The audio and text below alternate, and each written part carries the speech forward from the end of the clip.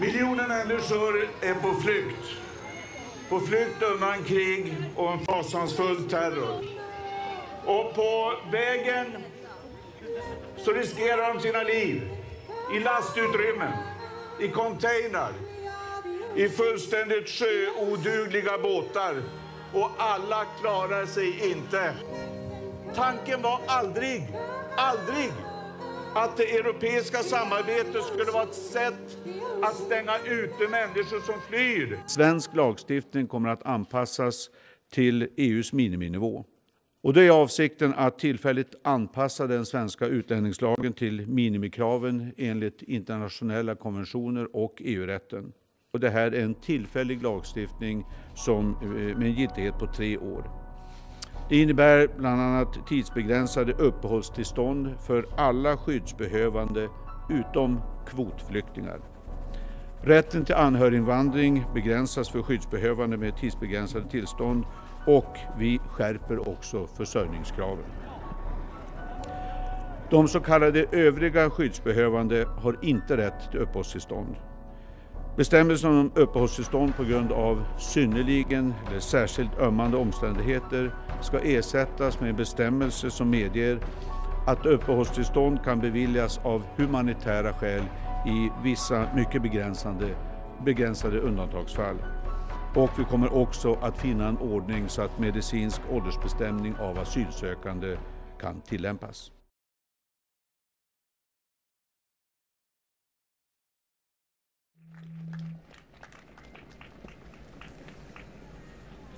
Tack så mycket.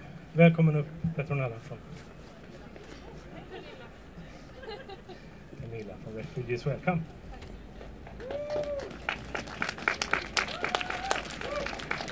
Tack så mycket. Um, vi inom Refugees Welcome to Gothenburg vill först och främst tacka tillsammans för Göteborg för att ni står upp för en human flyktingpolitik. När många av oss medborgare känner oss svikna och handlingsförlamade. Tack för att ni anordnar den här manifestationen.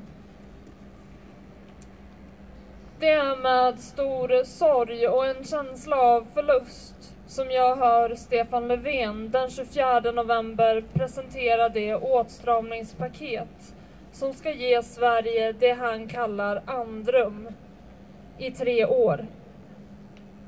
Inte nog med att Sverige endast ska följa EUs minimikrav.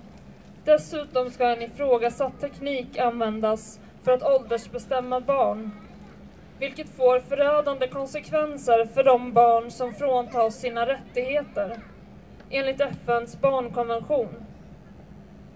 Det är inte det Sverige jag känner. Jag vill att de människor på flykt som kommer hit dag som natt ska få en chans. Att de som fortsättningsvis kommer hit ska få ett välkomnande. Att de ska få starta ett bättre liv här skaffa familj och leva ett liv i frid. Jag vill att alla barn som föds i Sverige ska få samma chans till integration som jag fick av mina föräldrar. Jag vill att Sverige ska vara tolerant, öppet och fritt. Som det Sverige jag känner. En humanitär stormakt som är rakryggad stolt över att fatta svåra beslut när inga andra länder ställer upp. Som talar med dem som står på golvet. Talar med dem som tar emot människorna som kommer hit. Hungriga, frusna, sjuka och i behov av ett vänligt välkommen hit. Refugees Welcome to Gothenburg har sedan första veckan i september stått dag som natt på Göteborgs centralstation och mött de människor som kommer hit via Tyskland, Köpenhamn och Malmö. Resan de gått igenom är obeskrivlig. En flykt över ett Europa med interneringsläger, resta murar och inhumana gränskontroller. En flykt från ett helvete där flera har förlorat ett barn, sin mor, sin farbror eller syster. Sverige har varit ljuset i tunneln. Otroliga eldsjälar har mött upp och tolkat från arabiska dari och farsi och ställt upp med resurser i vårt demokratiska samhälle. Inte för att vi måste, utan för att vi har ett privilegium. Vårt land är inte förstört av något krig. Jag vill att Stefan Löfven kommer hit och talar med Refugees Welcome to Gothenburg, med Röda Korset, Islamic Relief och kommunen i Göteborg om vad som gick fel. När nådde vi den punkt att vi nu bara når upp till EUs minimikrav för flyktingmottagande? Att lämna människor som flyr från krig, förtryck och fattigdom åt sina öden. För det Sverige jag känner och det Göteborg jag känner klarade av flyktingmottagandet galant. Jag ser inte siffror. Jag ser människor. Jag ser en glesbefolkad landsbygd där skolor stängs ner för att det råder brist på barn. Jag ser till skolan och omsorgen där det råder brist på lärare och vårdpersonal. Jag ser ett behov. Oavsett behov eller inte så har världens länder skrivit under på FNs allmänna förklaring om de mänskliga rättigheterna. En människa är född fri och lika i värde. Och artikel 13 i deklarationen säger klart och tydligt att var och en har, har rätt att lämna varje land, även sitt eget.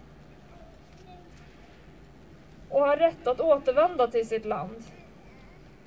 Svara mig då, hur har jag rätt att lämna mitt land om inget annat land tar emot mig?